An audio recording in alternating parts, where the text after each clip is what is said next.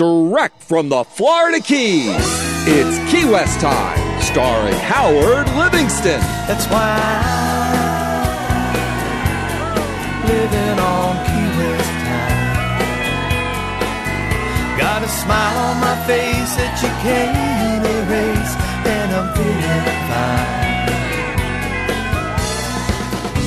Every night's a Saturday night, every day's a perfect ten. When the sun goes down and the moon comes up, we get to do it all over again. I'm living on Key West time. Welcome to another exciting episode of Key West Time. Today we'll check out the fantastic Key West Food and Wine Festival. Mmm, I'm hungry just thinking about it. Ever see solar art? You will today, plus lots, lots more coming up on Key West Time. Stay right where you're at. We'll be right back. Our climate here is tropical, and because of that, we can grow just about anything you can imagine, including bananas. And this is right in my backyard.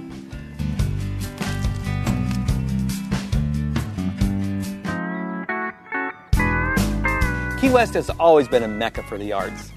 Painters, singer songwriters, uh, poets, you name it, they're, they're all here.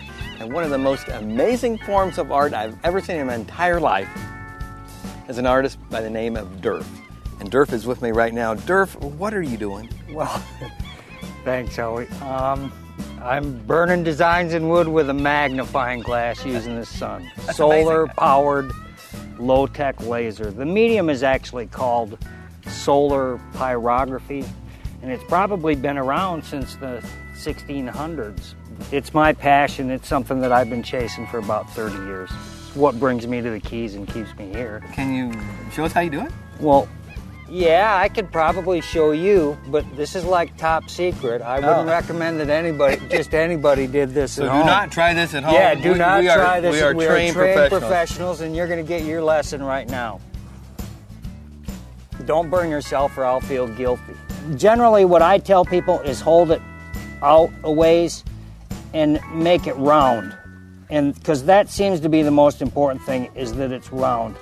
You get a more consistent burn, and then just make it smaller, and it's going to get to a point where it's just going to start burning. You can't go back and fix it.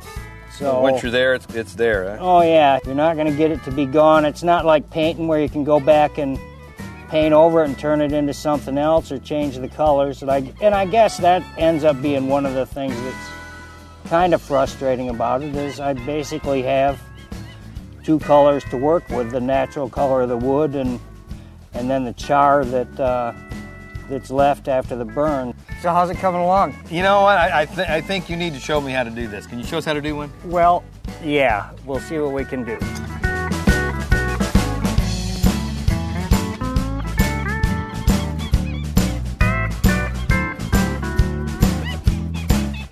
Durf, this is absolutely amazing. Glad you like it, Howie. Unbelievable. May, may I see the piece? Please.